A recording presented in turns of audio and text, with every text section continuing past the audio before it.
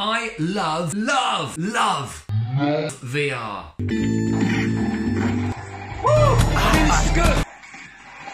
Whoa!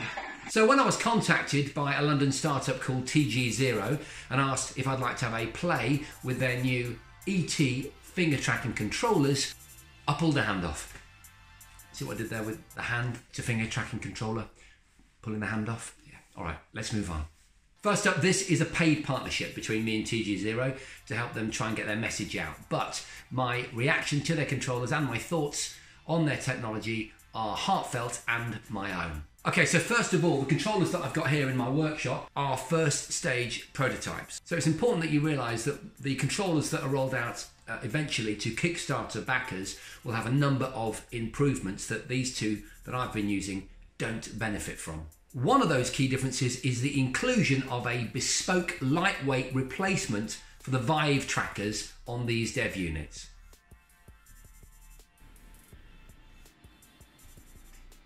Another change will be here on the LED button, which I'm told will be split into two buttons.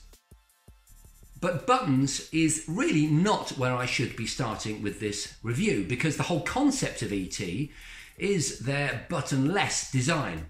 etee features a seamless rubbery tactile surface that is able to sense all five fingers using extremely precise proximity and pressure sensing. They just feel they just feel really good. They feel absolutely secure, like they're not going to go anywhere. And there's a lovely tactile quality to them. The texture is very reassuring and the response is very obvious and very reassuring.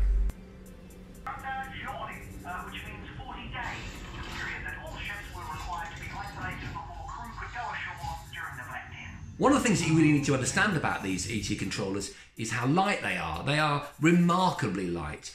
Um, and allied with these kind of knuckle dusters that keep them in place, it's almost like you're not holding anything. And that's a big contrast compared to most of the controllers I've used before these. And the result is a controller that recognizes all kinds of gestures from pointing to pinching and squeezing. And of course, there are programmable options for a whole lot more. There is a sense of going for the trigger button because of my previous experience on other controllers, when in actual fact the trigger button on the etee controllers is just the movement of your index finger.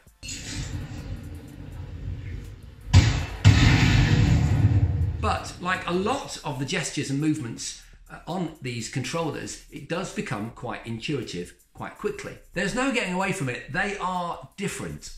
The idea that granular levels of force sensing in a squeeze motion can produce unique grades of interaction in software is quite unusual, and to a certain extent, that capability has a long way to go until it becomes a function in most software. But what I related to immediately the first time I used etee is that they are different. They offer the potential for much more precise interactions with a wide range of VR objects. Having spent a little bit of time with TG0 down at their London HQ, I did get a genuine sense that they're quite motivated about bringing VR to more people and making it more accessible and inclusive and growing a community around some really interesting technology. So those are a few of my thoughts on using the etee controllers, but it occurred to me that it might be an idea to get the reaction of a friend of mine who has a lot of experience using every controller out there and interacting with complex VR software on a daily basis. This is VR Rosie, a virtual reality artist who travels all over the globe creating amazing interactive VR art installations. It's gone like a yellow. So they've now connected to the base stations. God, no, it vibrates as well. Wow. Oh yeah, the tactile feedback. Yeah, it's the perfect fit in your hand. They've already done the research there. I like how your finger slides in and you can just hold them without gripping now. You can just work freely and then touch it when you need to touch it. You don't have to be constantly holding them. I'm super excited to see this in the virtual space now.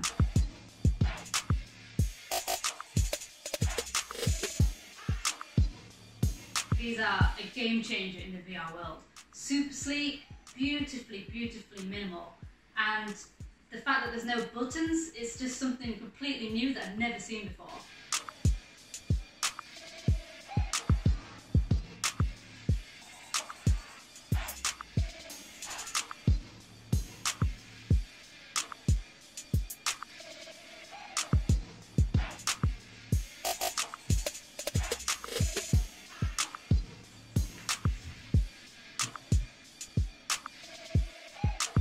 You're more you're more free to use and manipulate the controller how you want rather than having to conform to a gun-like sort of grip.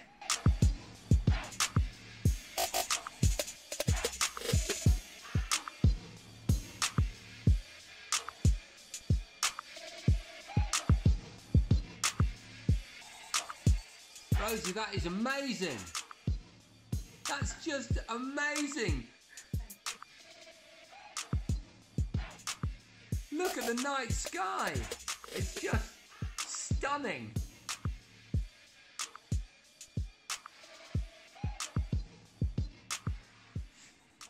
You just don't even know they're there. They've really got that fantastic grip, which all the other controllers lack. These are just perfectly made for your hands. Six hour battery life. That's insane, especially for events which I run, for VR events. Um, we're constantly having to charge up Vive controllers, but with these, we can just leave them running for the whole day. Oh these are just so cool. To find out more about the various etee packages available on Kickstarter, check the link in the description.